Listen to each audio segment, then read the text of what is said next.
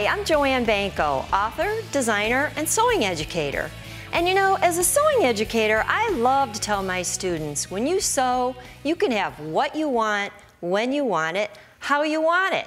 This classic, classic cowgirl style country western jacket is a perfect example of that. When you take a look at this jacket, you'll see there's a lot of great details. And when you have the ability to sew and embroider, you can create those details yourself.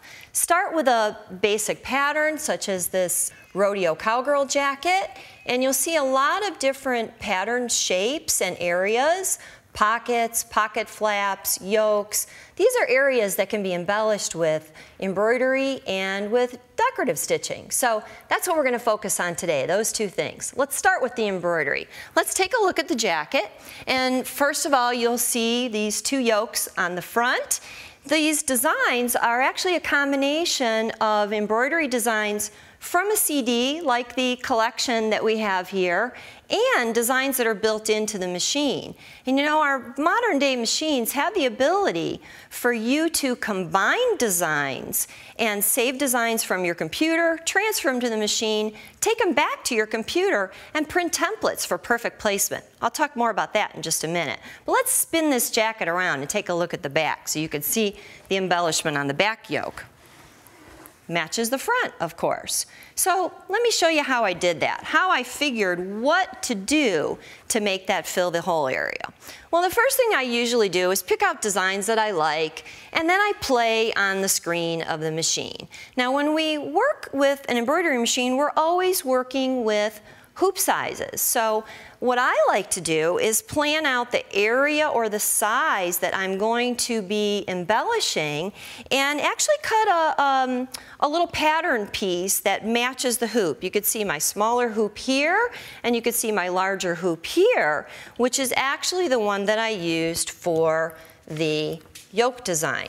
So what I did first is created my embroidery design again, then I saved it took it to my computer, printed a template from computer software, and used that to give me perfect placement. You can see that I traced my pattern design on the fabric so that I'm covering the area. Once I hoop that, I'm going to be able to precisely embroider that exactly where I need that design to go. So the rest is easy. Now, how about this linear design that we have on the belt? Take a look at that beautiful design. That is all built into the machine. We have decorative stitches in this machine that are built into the embroidery mode, which means that I can embroider them in one continuous line. But you need to know a few tricks to get them all linked up together. So let's go over to the machine. I'm going to sit down. I'm going to show you exactly how that was done.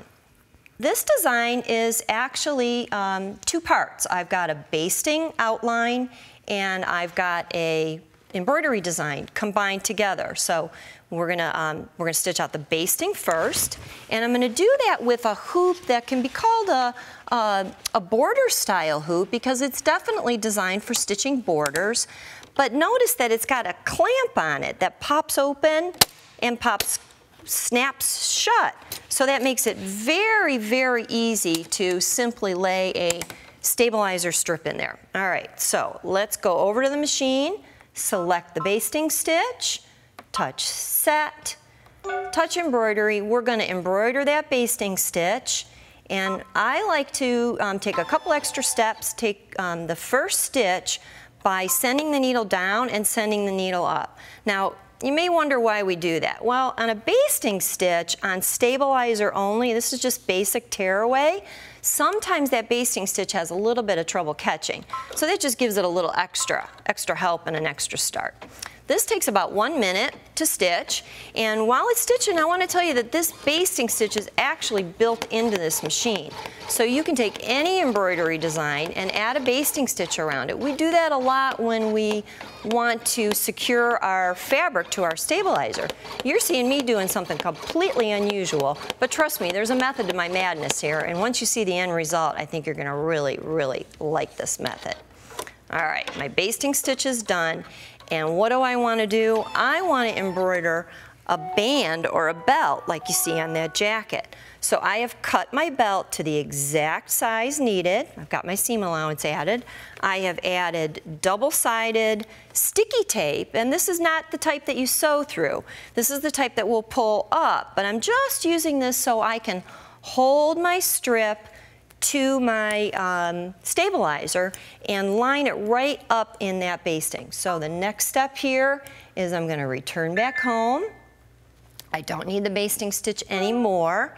What I need now is my great border design that I built from the built-in stitches in this machine to coordinate with the uh, embroidery designs on the yokes. And isn't that a pretty, pretty stitch? Those just stitch out so beautiful. There's a lot of combinations and a lot of ways you can, you can use these. I think it's a great way to make, um, make trims and belts. So I'm just gonna secure this right here. I've got it nice and smooth and stuck. And I don't know if you could see real close, but I've actually got my um, basting stitches as my guideline. So that now when I go to stitch, I'm gonna do that by, again, advancing to the first stitch. I'm gonna say okay. And I would go ahead and I would um, make a few changes. Now, we're gonna stop because we're gonna switch over to the piece that I already have stitched. And you can see this whole embroidery design has already been done. So let me move this over, save a little time here. And we're gonna slip this one right on. You can see what I've already done here. I'm gonna loosen it up and literally remove this from the hoop. I've got one done. I'm gonna tear this away. Actually, I'm gonna cut it away.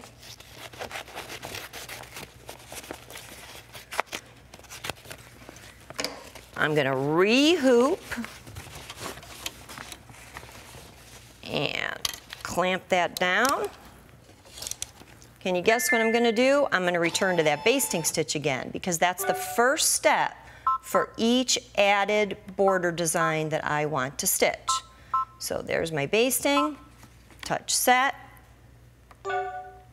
and I'm gonna, again, skip to that first stitch, grab that little tail at the back, one down with the needle and one up with the needle usually brings that bobbin thread right up so that you can lower the presser foot and start stitching that. Always remember to lock that frame though. It's wonderful the way our machines remind us when we make any mistakes. It's like your best friend built inside that machine, giving you a reminder of what you forgot to do. All right, while that's stitching, I'm gonna tear this away. I'm not gonna be too fussy because we can clean all the rest of this up later. But I want you to see this nifty technique for connecting the next portion of this very intricate design to the first one that I already stitched. All right. We go back. We select that border. Right there from the USB. We touch set. We touch embroidery. And I want you to notice a few very important keys on the screen that I'm going to select. These keys, these built-in features can be your best friend. First one is I'm actually going to tell the machine, don't cut the threads for me this time because I want it to stitch the whole entire color without stopping and starting. So that'll save a little time and it's really not necessary. I'm going to then go to the edit and I'm going to tell it stitch in all one color. When I touch that little spool key, it tells the machine it thinks that I want this color for everything, which is actually what I want. This is a single color design. So it won't stop until it's totally, completely finished. I have one more thing to do here. I'm gonna touch something we call the trial key. And the trial key just shows you exactly where the design's gonna stitch. So I've told it, I wanna know where the top center is. Okay, I'm going to now turn on a little light that comes right on underneath the presser foot so that I can slide this down And if you look right where my stylus is pointing, that's telling me that the center of that embroidery design is gonna fall right there. Again, I would tape that and that design is gonna connect perfectly and beautifully to the first one. So we'll let that stitch for just a minute here. And um, what I wanna do is go ahead and show you one that's already finished. So let me grab my finished one and let you see just how perfectly end-to-end -end, continuous stitching, how easy it is to embroider these designs. Now, how about some more embellishment techniques? Let's talk about top stitching. If you take little, another little peek at that jacket, you'll see on the lapels and on the cuff areas, I used um, a very uh, punchy kind of decorative stitch. And normally when we do top stitching, we think of a plain straight stitch. Well, that's fine, but you can do it with a decorative stitch as well. So I'm gonna switch the machine over to regular sewing. We'll go ahead and stop this, cut the thread, and to switch to regular sewing is just a simple matter of taking off the embroidery foot and switching over to the regular sewing foot. We're gonna go back home and we're gonna park this embroidery arm so that we can sew with the embroidery arm just parked into place. That'll get it out of the way. Disconnect the foot and we're gonna change to a decorative stitch foot because we're gonna be doing a decorative stitch.